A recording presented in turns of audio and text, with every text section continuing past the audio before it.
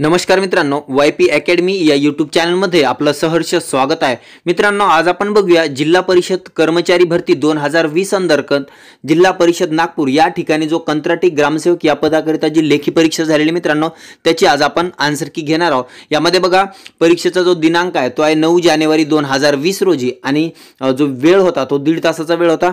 एकूण शंभर प्रश्न आहेत आणि एकूण दोनशे गुणासाठी परीक्षा झालेली आहे.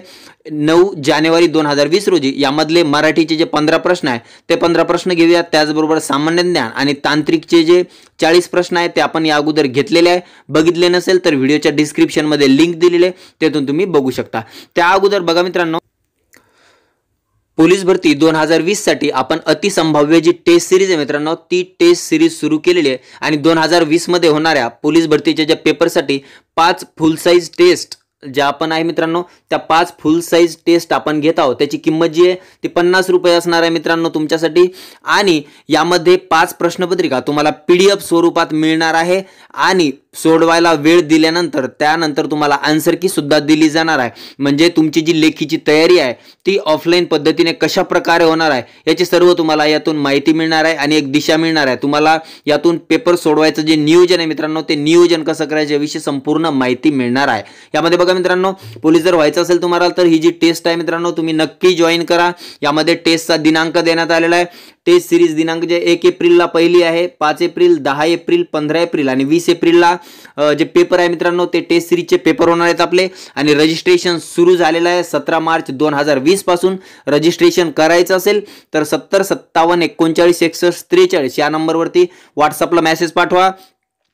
पोलीस भरती टेस्ट सिरीज म्हणून किंवा मग अन्यथा गुगल पे किंवा फोनपेनी पन्नास रुपये ट्रान्सफर करून त्याचा स्क्रीनशॉट आणि तुमचं नाव जिल्ह्यासहित पाठवायचं आहे. तुम्हाला जर टेस्ट सिरीज जॉईन करायची असेल तर पोलीस भरती जे उमेदवार तयारी करतात. त्यांच्यासाठी ही चांगली सुवर्ण संधी आहे. मित्रांनो नक्कीच जॉईन करा. तुमच्या पन्नास रुपयाचा जो मोबदला आहे तुम्हाला नक्कीच मिळेल.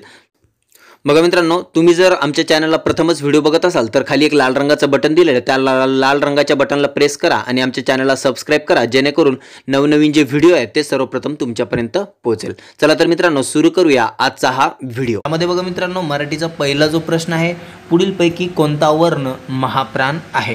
तो ऑप्शन आहे ए न बी ह सी ळ आणि डी क. तर याचं उत्तर आहे बी ह. ह जो वर्ण आहे तो महाप्राण वर्ण आहे. त्यानंतर समोरचा प्रश्न मराठी वर्णमालेत एकूण किती व्यंजने आहेत? बघा मित्रांनो मराठी जी वर्णमाला आहे यात एकूण चौतीस व्यंजने आहेत. त्यामुळे ऑप्शन जे चार नंबरचं आहे डी. बघा इथे चौतीस तर हे उत्तर बरोबर आहे. त्यानंतर समोरचा प्रश्न बघूया पुढीलपैकी कोणता वर्ण अनुनाशिक नाही? यामध्ये ऑप्शन बघा श. हे अनुनाशिक नाही आहे त्यानंतर न अनुनाशिक आहे म. अनुनाशिक आहे आणि ड अनुनाशिक सॉरी न अनुनाशिक आहे. यामध्ये बघा मित्रांनो अनुनाशिक वर्ण म्हणजे ज्या वर्णाचा उच्चार करताना नाकातून आवाज येतो त्या वर्णाला अनुनाशिक असं म्हटलं जातं. यामध्ये बघा श जो वर्ण आहे तो अनुनाशिक नाही त्यामुळे ए जो पर्याय आहे तो बरोबर आहे. समोरचा प्रश्न प्रश्न क्रमांक चार पुढीलपैकी संयुक्त स्वरांची जोडी ओळखा. यामध्ये सर्वप्रथम संयुक्त स्वर म्हणजे काय हे पाहणं गरजेचं आहे.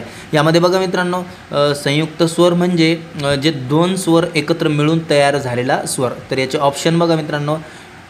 ए नंबरचं ऑप्शन आहे अ आ बी नंबरचं ए आई सी नंबरचं ई आणि मोठा ई डी नंबर उ आणि मोठा ऊ तर यामध्ये संयुक्त स्वर जे आहे मित्रांनो बी नंबरचं ऑप्शन ए आणि ऐ त्याचबरोबर ओ आणि औ सुद्धा संयुक्त स्वर आहे. त्यामुळे बी नंबरचं जे ऑप्शन आहे ते बरोबर आहे. त्यानंतर समोरचा प्रश्न पुढीलपैकी मृदू वर्ण ओळखा. ऑप्शन आहे क त्यानंतर थ त्यानंतर ब आणि त्यानंतर फ.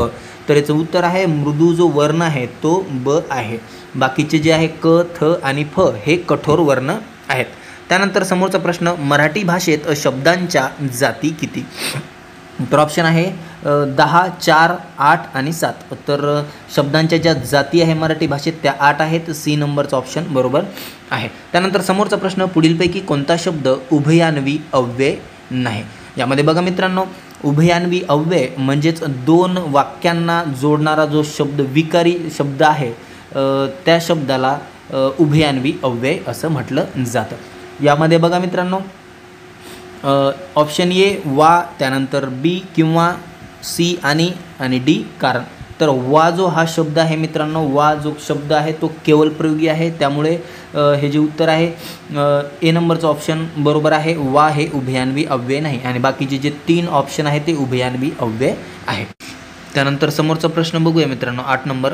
पक्षी फांदीवर बसला. अधोरेखित शब्दाचा प्रकार ओळखा. फांदीवर जो शब्द आहे त्याला वर जो आहे त्याला अधोरेखांकित केलेलं आहे. त्यामुळे याचं जे उत्तर आहे शब्दयोगी अव्यय. तर एखाद्या शब्दाला जोडून आलेला जो शब्द आहे त्यानंतर त्याला शब्दयोगी अव्यय असं म्हटलं जातं. तर याचं उप ऑप्शन जे आहे डी बरोबर आहे. त्यानंतर समोरचा प्रश्न बघूया. पुढीलपैकी विशेष नाम ओळखा. यामध्ये ऑप्शन दिलेलं आहे मित्रांनो बघा. पेन शहर माधव आणि राग. तर विशेष नाम जे आहे ते सी माधव हे विशेष नाम आहे. त्यानंतर समोरचा प्रश्न पुढीलपैकी कोणते नाम भाववाचक नाम नाही? तर यामध्ये बघा मित्रांनो शहाणा शहाणा हे विशेषण आहे उदार हे सुद्धा विशेषण आहे पाणी हे पदार्थवाचक नाम आहे आणि त्यानंतर जो शेवटचा ऑप्शन आहे चाफा हे सुद्धा विशेष नाम आहे. त्यामुळे यात जे आहे भाववाचक नाम कोणतंच नाही आहे तर यामुळे हा जो प्रश्न आहे तो रद्द करण्यात आलेला आहे. त्यानंतर समोरचा प्रश्न बघूया. अकरा पुरुषवाचक सर्वनाम ओळखा. यामध्ये ऑप्शन आहे ए तू मी त्यानंतर बी जो जे त्यानंतर सी स्वतः आणि डी कोण. तर यामध्ये एक नंबरचं ऑप्शन बघा मित्रांनो ए नंबरचं तू आणि मी हे जे सर्वनाम आहे ते तू द्वितीय सर्वनाम आणि मी प्रथम सर्वनाम. त्यानंतर सी नंबरचं जे ऑप्शन आहे स्वतः बघा येथे ते सी नंबरचं जे ऑप्शन आहे स्वतः ते प्रथम आणि द्वितीय पुरुषवाचक सर्वनाम आहे. त्यामुळे हे दोन्ही जे ऑप्शन आहे ए आणि सी हे दोन्हीही बराबर आहे. त्यामुळे हा प्रश्न चुकीचा आहे. त्यानंतर समोर. आहे. त्यानंतर समोरचा प्रश्न बारा वस्तूचे गुण दर्शविणारा शब्द कोणता? तर वस्तूचे गुण दर्शविणारा शब्द जो आहे मित्रांनो गुणविशेषण तर यात सी नंबरचं ऑप्शन दिलेलं आहे विशेषण. तर याचं उत्तर आहे विशेषण सी त्यानंतर समोरचा प्रश्न बघूया. पृथ्वी सूर्याभोवती फिरते काळ ओळखा. तर यामध्ये बघा मित्रांनो पृथ्वी सूर्याभोवती फिरते म्हणजे क्रिया सुरू आहे त्यामुळे हे जे काळ आहे ते वर्तमान काळ आहे सी नंबरचं ऑप्शन त्यानंतर समोरचा प्रश्न आज हा शब्द डॅश डॅश आहे. यामध्ये ऑप्शन दिलेले मित्रांनो ए क्रियाविशेषण बी उभयान्वी सी केवल प्रयोगी आणि डी क्रियापद. तर आज जो शब्द आहे तो क्रियाविशेषण अव्यय आहे. एक ए नंबरचं ऑप्शन बरोबर आहे. त्यानंतर उद्गारवाचक जे उद्गार चिन्ह कोणत्या गोष्टीचं निर्देश करते? म्हणजे उद्गार जे चिन्ह आहे त्या त्यातून कोणत्या गोष्टीचा निर्देश होतो? एक ऑप्शन ए भावना बी वर्णन सी कृती आणि डी प्रश्न. तर उद्गार चिन्ह जे आहे मित्रांनो ते भावनेचं निर्देश करते. त्यामुळे ए जे ऑप्शन आहे ते बरोबर आहे. मित्रांनो व्हिडिओ आवडला असेल व्हिडिओला लाईक कमेंट शेअर करा आणि असेच नवनवीन अपडेट मिळवण्यासाठी आमच्या यूट्यूब चॅनलला सबस्क्राईब करा. धन्यवाद.